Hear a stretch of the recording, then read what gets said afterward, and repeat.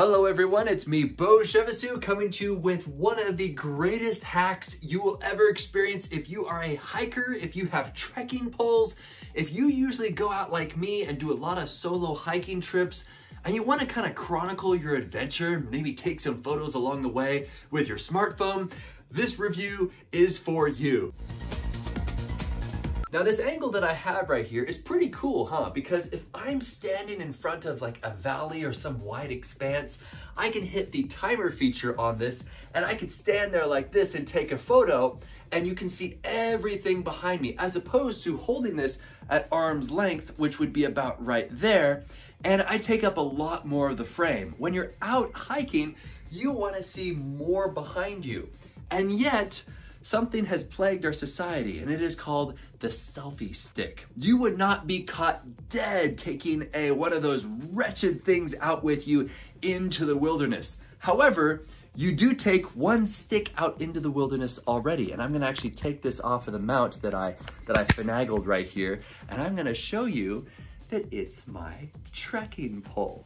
but look at this fantastic mount that I put on the trekking pole. I'm actually gonna show you how I set this thing up so that you also can emulate what I have uh, going on right here.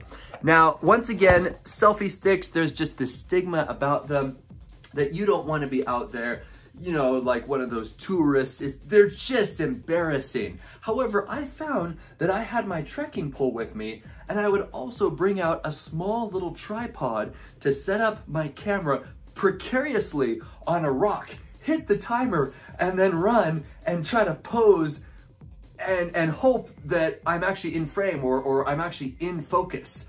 I started thinking to myself, how cool would that be to repurpose what you already have with you, which is a trekking pole or two, and why not put a mount on there. Now this mount is actually designed for music stands. So let's say you're in church and you're in front and all the lyrics are on your smartphone, well, you just put them on your smartphone and then you put this clamp on the music stand and check this out. Then your smartphone clamps right into there. I'm simply repurposing the exact same thing and putting it on a trekking pole.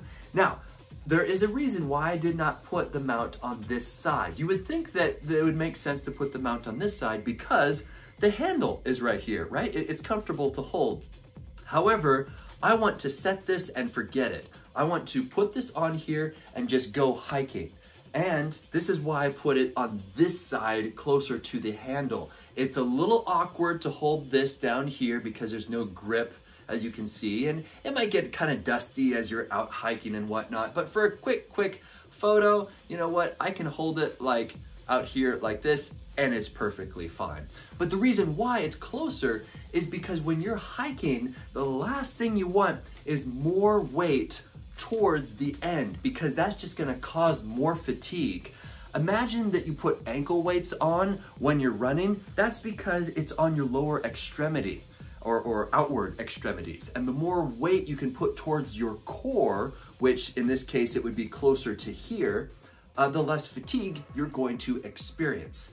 Now, I'm actually going to go ahead and get an iPhone 6S. This is of uh, the smaller iPhones. I actually tested at the start of this video my initial iPhone right there, which is much, much bigger. So yes, this clamp will in fact hold a much bigger smartphone, which is so cool. And check it out, it just pops on right like that and I can hold it out like so. And no longer do I have to precariously perch my camera up on a rock or kind of bother a passerby, say, hey man, can, can you take a goofy photo of me?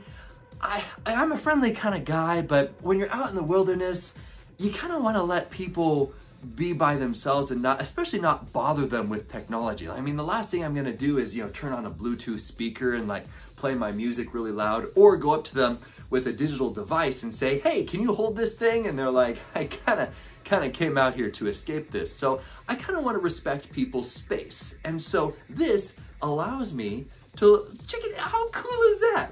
Now, let's actually break down exactly how this fits onto the, uh, uh, the, the trekking pole, okay? All right, it's very, very easy, very intuitive. It comes as one piece, so there's very little assembly required. There's actually a knockoff of this thing out there that they claim is designed for trekking poles. It basically screws on. Is horrible. Do not recommend that. This one, I actually put the link in the description below. And so this is what happens. So you start to unscrew it like so, and I would have put it up a little higher, but I've got some emergency duct tape that I just kind of stick on my trekking poles. And see how this kind of swings out like that, and then this clamp opens up. And that is how you can clamp it onto virtually anything. I'm, I'm, really actually quite surprised. It does fit down there, but once again, lots of fatigue, wagging around. Imagine how much weight is on there. You would just be like, I can't believe that that YouTube reviewer guy, Beau, said to put it on the end of this. I hate him. But up here, uh, so what you're gonna want to do is go in the right direction, so orient in the right direction, and then have this as high as possible. Again, my duct tape's in the way, so I'm gonna put it a little lower down. You're gonna wanna have it pointing forward, not to the side or else you might hit that, not to the outside or else it might hit some brush as you're walking along, kind of clipping things, and certainly not back because then you're gonna be hitting your forearm as you're going. So you want this to be pointed straight forward, almost like it's a gun pointing forward like that.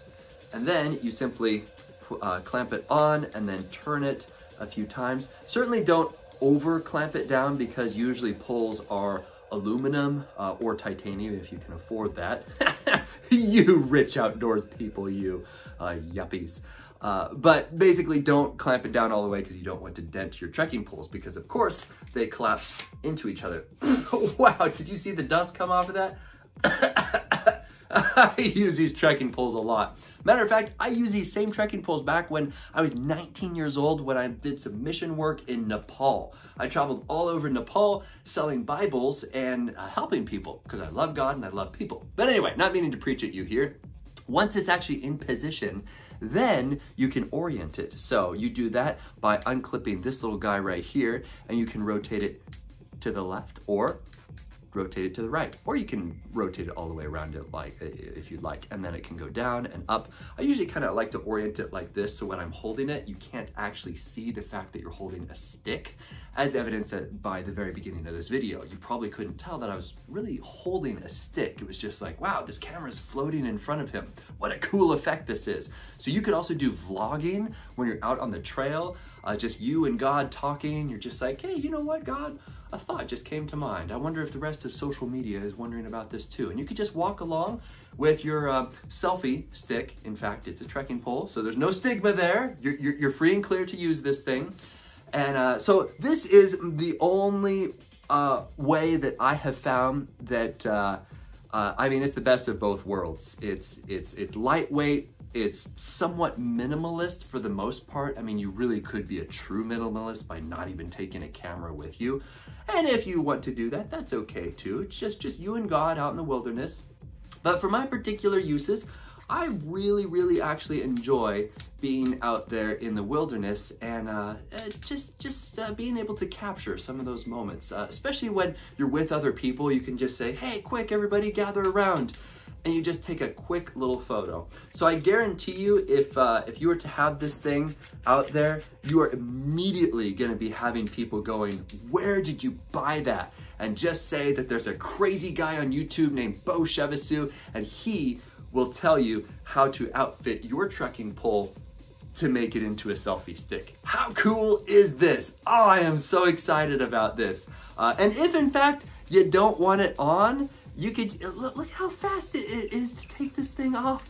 So cool. Look, look, look, look, look. Unwind like that, open it up like that, and put it in your backpack or put it in your water bottle holder and then just clamp it on when the time is right. My name is Beau Chevassus. I hope that this is helpful in equipping you for more adventures and so that I can see your fantastic photos on Instagram. I hope that you're following me on Instagram. I take a lot of really cool photos out and about all over the world, including my own backyard of Enumclaw, Mount Rainier. Yes, I do love Mount Rainier tremendously. I try to summit it at least once a year, or at least attempt to summit it. Uh, we don't always succeed. We lose some people here and there, but hey, they'll always be preserved in those crevasses. I'll see them in heaven anyway, right? Okay.